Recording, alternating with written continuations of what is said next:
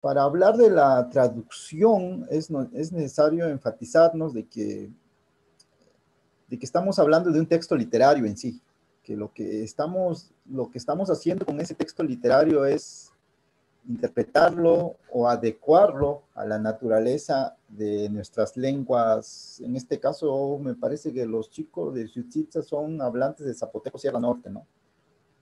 Del Rincón, sí. Ajá, entonces en esta variante del Zapoteco.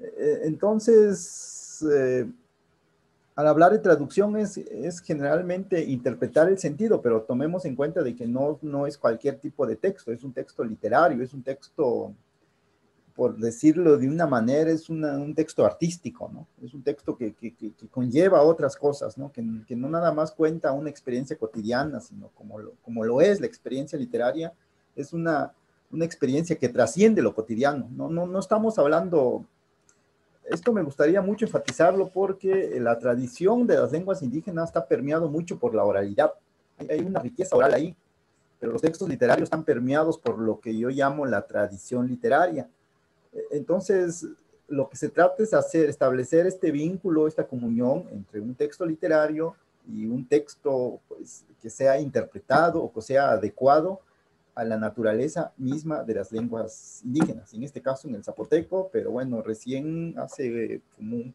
par de semanas atrás, casi como un mes más en concreto, eh, también di un taller para el Centro de las Artes donde tenía participantes de lengua triqui, de lengua chatina, de lengua mazateca, varias lenguas, ¿no? Entonces, justo el ejercicio que escogí hoy es el ejercicio que vamos a tratar de interpretar, pero como tal es una... En literatura difícilmente va a ser una interpretación de palabra por palabra, ¿no? Más bien es el significado total. Pero aquí estamos, estamos ante un texto literario y lo que me gustaría mucho compartir con ustedes es de que cuando se traduce, eh, realmente hay palabras que en el cotidiano, en el zapoteco hablado, digamos, ¿no? En el zapoteco oral, en la tradición oral, en el zapoteco vivo, en el, en el cotidiano. Lo que a mí me encanta del ejercicio de traducción, o lo que se aprende más bien, lo que uno se vuelve consciente de, cómo se estructura una lengua, es de que hay expresiones que solo se descubren en la, traducción literaria, imagínense. Hay expresiones que yo traduciendo texto he descubierto expresiones que nunca más y que difícilmente en el mundo oral, en el mundo diario, digamos, en el mundo del zapoteco, en el mundo de lo comunitario, en el mundo de lo cotidiano, vamos a descubrir esas, esas expresiones. Entonces es algo maravilloso y es como casi, casi como un descubrimiento, diría, ¿no? Hay cosas que vamos a aprender o que vamos a, a, a incorporar en nuestro en la riqueza del zapoteco, que solo lo vamos a apreciar en toda su dimensión en, en la traducción, en la palabra escrita, porque imagínense, porque aquí también son otro, nivel, ¿no? Eh, no estamos hablando del zapoteco oral, estamos hablando ya la intencionalidad, con toda la intencionalidad del zapoteco escrito. Y en ese zapoteco escrito lo que pasa es que descubrimos expresiones que, como vuelvo a repetir, en la oralidad no existen, en el, en el uso cotidiano no existen sino que esta grandeza, digamos, de, cierta manera, solo se presenta en el acto de la traducción literal. No, no, no, sé si pase eso en otras lenguas, seguramente del inglés, del francés, en otras las mayoritarias, ¿no? Pero en las lenguas indígenas uno dice, wow, esta expresión existe porque existe este texto literario y de ahí se desprendió. Pero si lo llevamos a lo comunitario, a lo mejor no se entienden, porque claro que la gente que habla una lengua inmediatamente puede, puede entendernos, se capta el significado, es lo que voy, ¿no?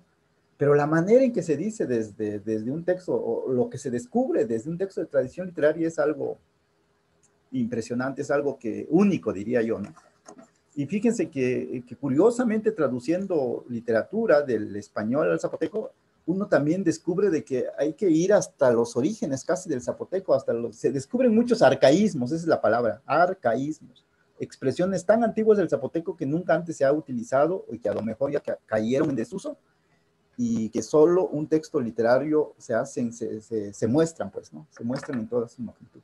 Entonces, de inicio partiría eso de que hablar de tradición literaria es hablar de una tradición que tiende hacia la escritura, porque es, es algo, aparentemente ser simple, pero es algo sumamente importante.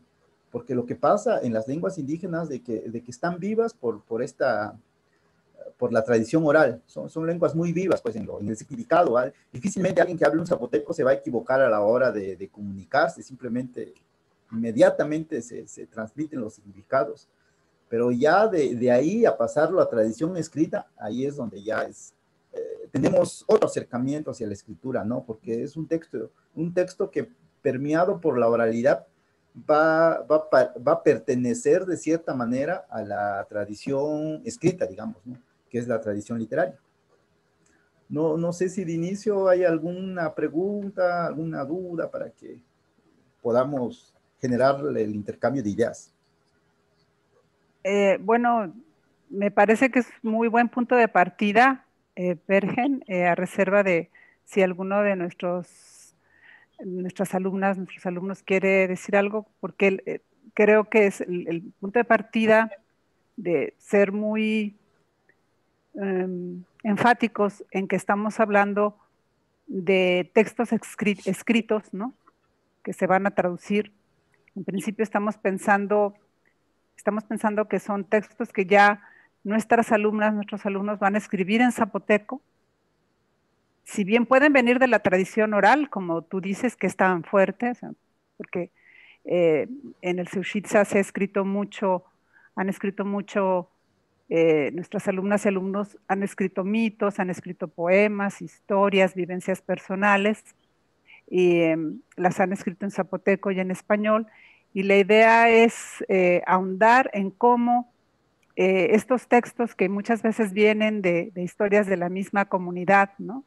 de mitos o de la tradición oral, cuando no son vivencias personales, se pueden pasar se pueden traducir al zapoteco y creo que lo que tú estás diciendo de que esto ya convierte la experiencia en otra cosa muy distinta, o sea, pasar de lo oral, del oral que muchas veces pues es eh, algo muy ordinario, muy fácil, eh, que se hace sin pensar por parte de, de nuestras alumnas y alumnos, al pasarlo al texto, ya a un texto ya que tiene otra intención, una intención de, creativa, artística, pues ya se vuelve otra cosa, como dices, ¿no?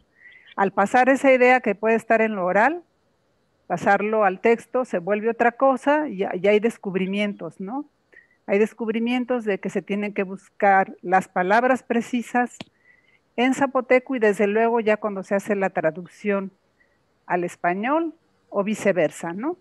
En el caso del Sushitsa, eh, estamos procurando con la dirección del profesor Rayo que eh, los textos se escriban directamente eh, al zapoteco primero, en primera instancia sean escritos en zapoteco para después ser traducidos al español. No siempre se puede, no siempre se hace, pero esa es la idea, de eso se trata, de hacer un trabajo en este sentido.